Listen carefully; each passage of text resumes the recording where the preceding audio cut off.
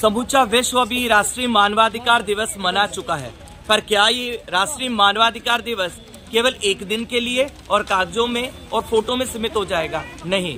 आज देश का कामगार मेहनत कश मांग कर रहा है कि उसको एक अंतर्राष्ट्रीय स्तर पर एक ऐसी मजदूरी तय हो, जहाँ पर हर व्यक्ति को डिग्निटी के साथ जीने का मौका मिले और यह मजदूरी राष्ट्र के अंदर, इंडिया के अंदर जो है राष्ट्रीय स्तर पर एक रूप में तय होनी चाहिए, जिसको कहा जा रहा है कि ये एक मजदूरी पूरे के पूरे भारत में लागू होगी और इससे नीचे कोई भी राज्य मजदूरी नहीं देगा, जिसको हम लिविंग वेज की बात कर रहे हैं। इसलिए सभी कामगारों ने आज यहाँ पर मांग उठाई है, मजदूरी की कि एक सम्मानजनक मजदूरी मिले। हाँ यही गैर बराबरी है। असमानता मजदूरी के अंदर है, सामाजिक सुरक्षा के अंदर है, पुरुष और स्त्री के भेदभाव है। जिस जिसके बारे में लोगों ने बताया। है